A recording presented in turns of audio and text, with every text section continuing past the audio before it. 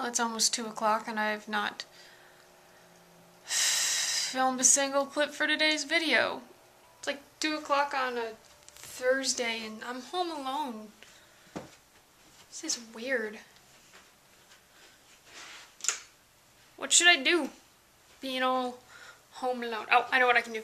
Something that I can't do when other people are around. I'm gonna run around with a naked face.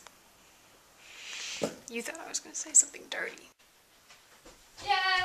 Ow! Ow. Hi, Hobbs. Do you think I'm weird? Side of the road and looks at me. I'm quite shy, she says. Huh? You can't help but pose a little, so you never really know. But this, that's what you look like. Jane puts two fingers against the face on the license, which I'm holding against my leg. So her fingers are on my leg if you don't count the license. God, I forgot all about Pogo Dog.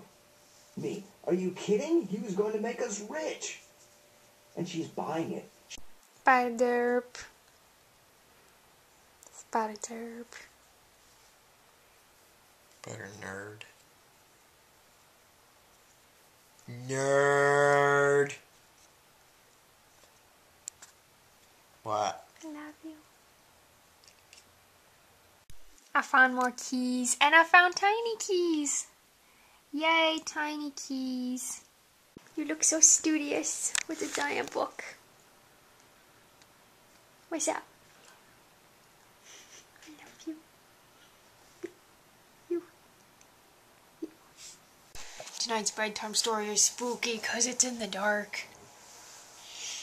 Okay, so, um, basically the the Dark Lord's castle where our zombie narrator has worked for the last three months or something uh, has just been deleted by these angel thingies of light.